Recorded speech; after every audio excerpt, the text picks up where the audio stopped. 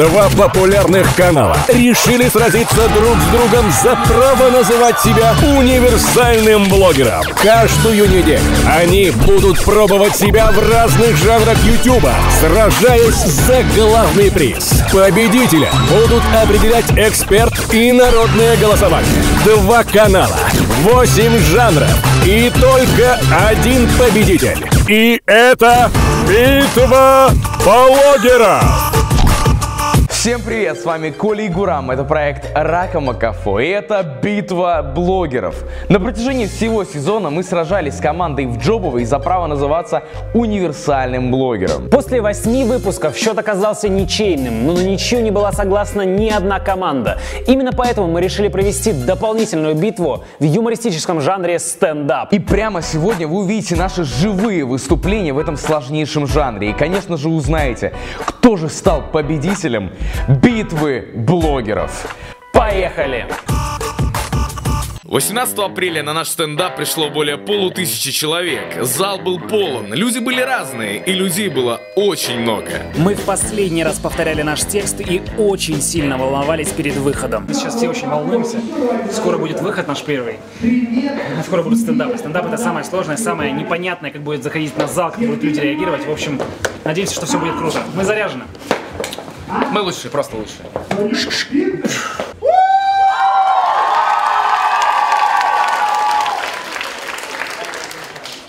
Всем привет! Меня зовут Гурам, и я всю жизнь живу в Петербурге. Хотя казалось бы, да?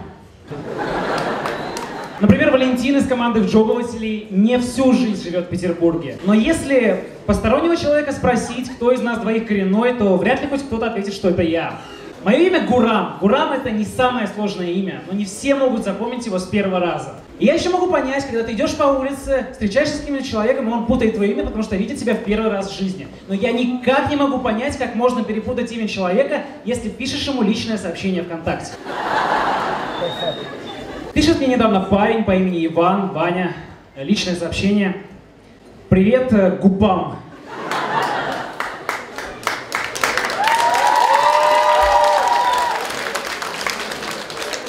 Как у тебя дела? Ну, я не остался равнодушным, ответил ему. Все хорошо, Ивап, все нормально.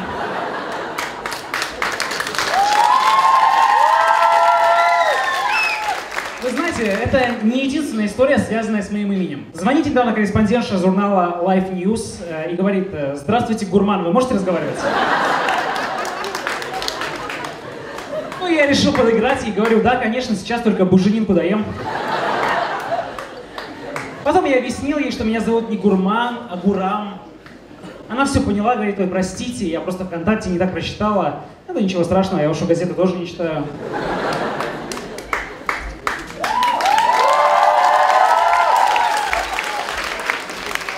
И вы знаете, ладно, мое имя. Мой друг по проекту Николай. Николай, обычное русское имя.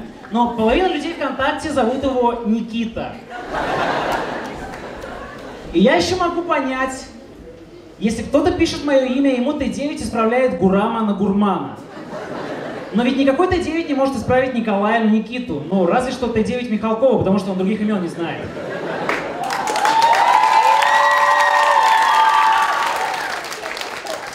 Вы знаете, это всего лишь мое имя. У меня есть фамилия Нормания.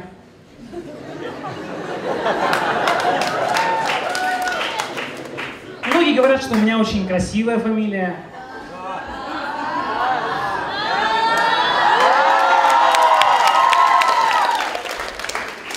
Многие девушки хотят э, взять эту фамилию. Взять и исковеркать. И вот самые смешные вариации, которые я встречал в своей жизни. Нормандия. Нарния. Наркомания. Петров. Ну, Это просто было в постели, и так было спокойнее. Гребаная расистка.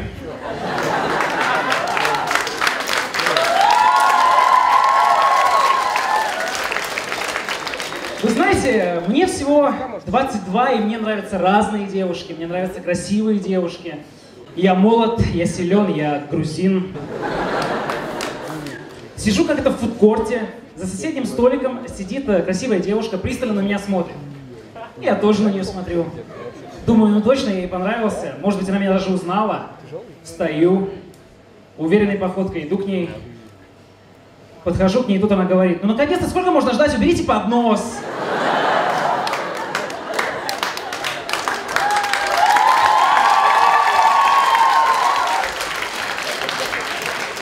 Я очень разозлился. Я разозлился настолько, что даже захотел ее ударить. И ведь я ничего не боялся, потому что я точно знал, что более 90% людей прошли бы мимо.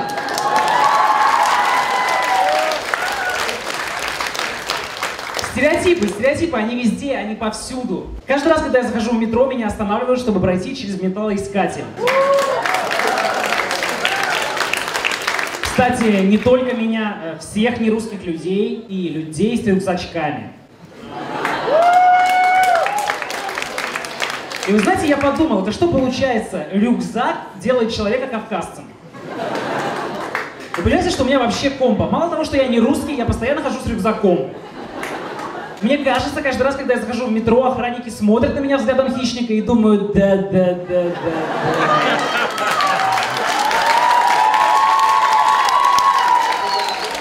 это наш клиент. Стереотипы, стереотипы, они повсюду. Вы знаете, я очень много общаюсь с кавказцами, э, с дагестанцами тоже. Они, кстати, все очень хорошие ребята. Но знаете, у каждого дагестанца в жизни наступает такой момент, когда он впервые приносит в универ травмат. Это важный этап взросления и становления его как личности. И очень важно не напугать его в этот момент, потому что если его напугать, может случиться такое. Сейчас тебя шмальну. Или в тебя шмальну. Или в себя шмальну. Очень расстраивает, когда это ваш профессор, согласитесь?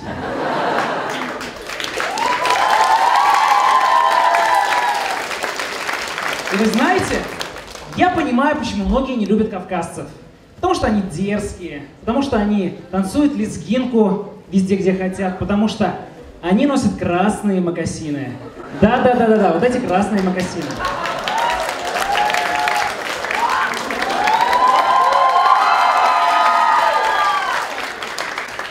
Просто, понимаете, я купил эти мокасины до того, как это стало мейнстримом. Чтобы вы понимали, я теперь нигде не могу их носить, потому что кто-то что-то не так подумает. И знаете, каждый раз, когда я смотрю на всю свою обувь, мой взгляд останавливается на красных мокасинах, и я начинаю плакать. Я плачу по тому времени, что уже не вернуть. Я плачу по тому времени, когда мы вместе гуляли в парках, когда мы вместе съездили в Италию, вместе словались на заднем ряду кинотеатра.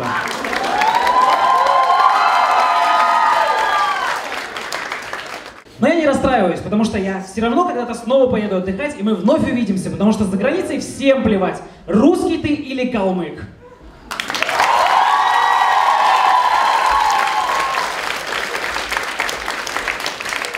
Я очень рад, что я могу вот так спокойно стоять на этой сцене и вспоминать свои старые времена, когда я еще не стеснялся носить красные мокасины. Спасибо большое! Бомба! Просто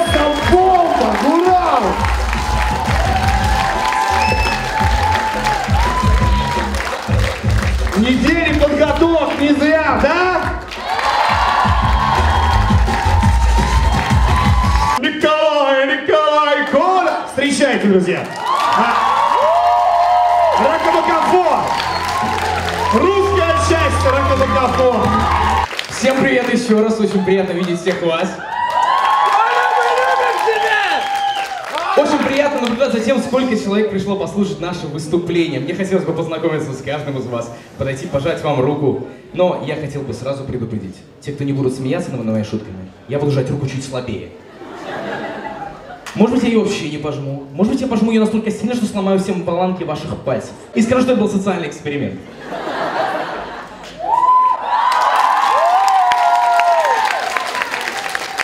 В общем, это шутки все, но раз уж я заговорил, я действительно не, не очень люблю рукопожатия в последнее время. Мы стали достаточно известными ребятами, и с нами очень часто фоткаются, здороваются и жмут нам руки. У меня очень бурная фантазия, и теперь каждый раз, когда 16-летний подписчик моего канала протягивает мне руку, я представляю себе все, что он может вообще делать этими руками. Может быть, он хватается за все поручни и плохо моет руки засранец. Ох, что это безрассудное поколение. А, вообще, быть известным человеком не очень просто, потому что постоянно люди в интернете все преувеличивают. Нам просто нельзя ни в коем случае облажаться. Вот я докажу на примере. Недавно мы съездили в Америку, ну как недавно, и сняли социальный эксперимент. Меня обвинили в том, что я американский шпион. Отлично, Гурам поехал в Грузию и снял там эксперимент. Что вы думаете? Гурама обвинили, что он грузинский шпион по кличке Южный Крот.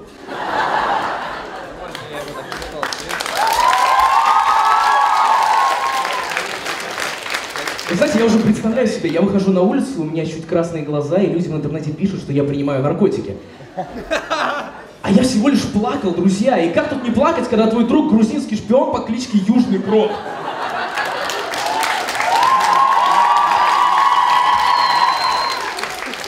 А ведь он даже не знает, что в Газдепе платят в разы больше. Да? На самом деле, когда я стал известным, а, я обнаружил несколько вещей, к которым я не был готов. А, например, вы знаете, это было открытие для меня, я даже мечтать не мог год назад, что на мне на улице будут набрасываться 12-летние девочки, обнимать и говорить, какой ты классный. Я скажу так. По закону я и сейчас не могу мечтать об этом, но... Некоторые безумные фанатки перегибают палку. Вот недавно случилась история, к нам подбежала 12-летняя школьница, наша фанатка, начала обнимать меня, потом обнимать Гурам, потом обнимать меня, потом обнимать Гурам. Очень долго это все происходило, и все по ничего, но рядом стоял ее отец. Слава богу, он был нормальным мужиком таким, он дружелюбно спросил, «Дося, кто эти ребята?» Я очень обрадовался, потому что эта девочка сразу же урегулировала все положение. Она сказала, папа, ты что, не знаешь? Это же те ребята, которые снимали изнасилование девушки. Ограбление мальчика.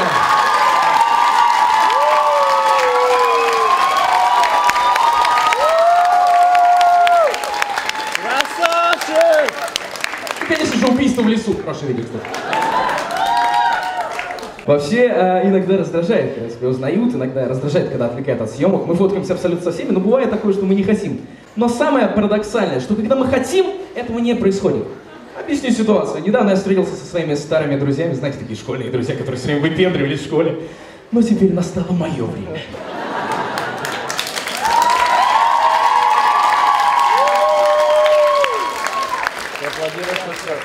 Знаете, такие друзья, которые делают вид, что никогда не смотрели наши видео, ни одного не знают вообще. Как у меня фамилия, какой проект, Раком Качу? А, Значит, вот так, э, мы совершенно случайно встретились, совершенно случайно, случайно мы решили пойти в самый крупный торговый центр в Санкт-Петербурге. Я совершенно случайно одел свою толстовку Рака Макафо. Совершенно случ- случайно поставил на рингтон фристайлер. Меня никто не узнавал, я даже ложился в проходе посреди людей, делал вид, что мне плохо, хватал людей за щиколотки. Ничего, абсолютно. Но в итоге меня узнали. Ко мне подошел маленький школьник и сказал, круто тогда с Гурамом девушку били.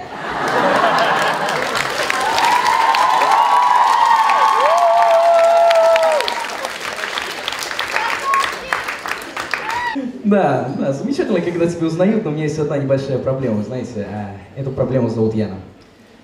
Яна это моя девушка. Не поймите неправильно. Мы друг друга очень любим. Я- Яна находится здесь, она самая красивая, любимая, самая драгоценная девушка на свете, это я должен был сказать.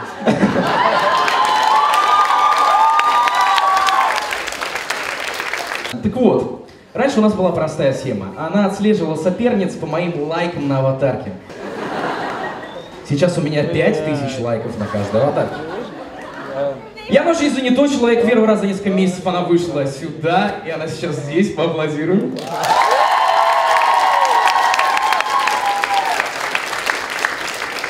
Вы знаете, теперь каждый раз, когда я хочу побыть один, я просто выкладываю новую аватарку в сети.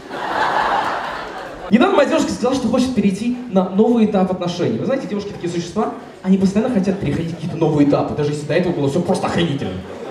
В общем, она сказала, нам нужно перейти на новый этап. Я говорю, что за этап? Она ответила, тебе нужно дать пароль от своего контакта. Это исключительно для доверия, вы понимаете? В знак доверия мне нужно дать свой контакт.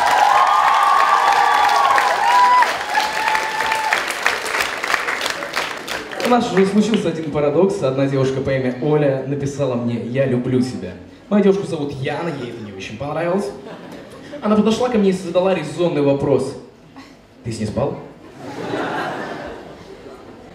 Мне было неловко отвечать, но я сказал, да, Яна, я с ней спал. Причем спал с ней очень давно, с детства. С ней даже спал мой отец, это моя мать.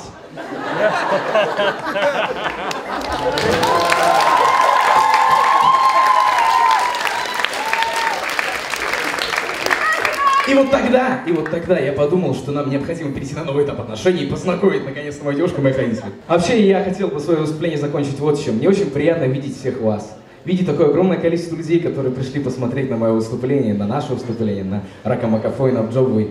Но еще больше мне хочется сделать одну важную для меня вещь. Я всегда, вот представьте себе, всю свою жизнь мечтал об этом. Что когда-нибудь я выйду на сцену и буду выступать перед многими людьми. И, а, я смогу сказать огромное спасибо той девушке, которая всегда рядом со мной, действительно, которая всегда меня поддерживает и которую я очень люблю. Яна, я тебя люблю. Я хочу подарить этот цветы тебе, где бы ты сейчас ни была. Она здесь, Калюня! Спасибо, друзья!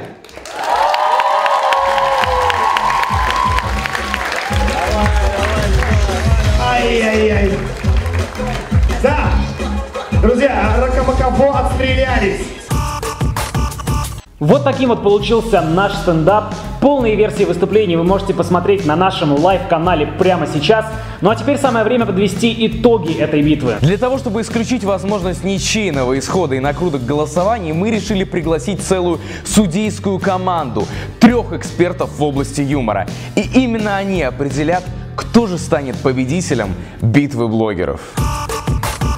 Алексей Сапрыкин или Сапер, победитель самого первого сезона Comedy Battle на ТНТ, а также финалист Comedy Battle 2013 года. Фил Воронин, финалист первых двух сезонов Comedy Battle на ТНТ, а также участник высшей лиги КВН на Первом канале. Дмитрий Ларин, самый независимый критик Ютуба, который неплохо разбирается в стендапах и также успел попробовать себя в этом непростом жанре. Ну что, друзья, мы очень волнуемся. Прямо сейчас у нас на руках находятся сразу три экспертные оценки, и мы пока специально их не смотрели, для того, чтобы запечатлить это все на камеру. Сейчас мы запустим первое видео и будем с нетерпением ждать результатов голосования. Привет команде Рака Макафо. Э, Ребята, не знаю, как это вам сообщить, но это радостная новость, поэтому лучше, наверное, сядьте. А, Мне очень понравилось ваше выступление. Конечно, временами не все было идеально, но тем не менее мой голос за вас. Если там это что-то решает, то я еще раз повторю, мой голос за вас. Даже не за Путина, за вас. Привет, команда Рока Макафуо. Мой балл достается вам. У вас было смешно, в отличие от ваших соперников. Вот. Зал не даст соврать. Я вас поздравляю, продолжайте в том же духе. Балл от меня получает команда Рака Макафо. Я, признаюсь, был, был приятно удивлен. Удивлен тем, что я увидел и услышал. Много самоиронии. Вот это, конечно, да, это импонирует, это подкупает. Второй момент. Раскрытие стереотипов про хачей, но не пошлыми категориями. Самое пошлое и плоское было это попытка показать а, макасины, макасины на камеру. Николай выбрал изначально, как мне показалось, плохую стратегию. Он начал а, двигать тезис «я популярен», «я известен», и от этого уже делать ответвления. Да, это не очень, но ответвления в целом получились хорошие. Также почти что в каждой шутке у ребят была конструкция setup punchline. Создание ожиданий ребята формировали, разрушали их очень хорошо и неожиданно. На этом строится комедия. Если так пойдет и дальше, то ребята из Ракамакафо вполне могут построить карьеру комиков и путешествовать, и колесить по России или СНГ и давать свои стендап-выступления. Разница между командами просто катастрофическая. И сказать, что можно их даже сравнивать, это, это слишком. Нет. Надо было начать с этого.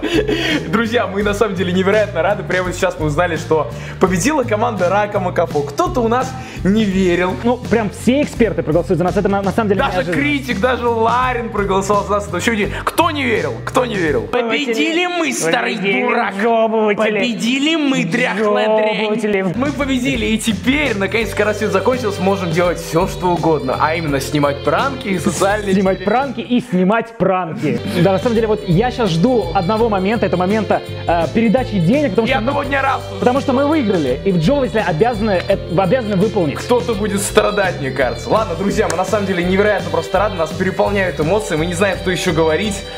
Мы победили, и это очень круто. В конце концов, хочется сказать огромное спасибо всем нашим зрителям, которые поддерживали нас на протяжении всего сезона битвы. Это было очень интересно и невероятно сложно. И огромное спасибо всем вам, что вы прошли этот путь вместе с нами. Будет ли второй сезон? Мы пока не знаем. Свои комментарии на тему того, хотели бы вы увидеть новое противостояние, вы можете оставлять в нашей официальной группе ВКонтакте. Это был проект Рака Макафо.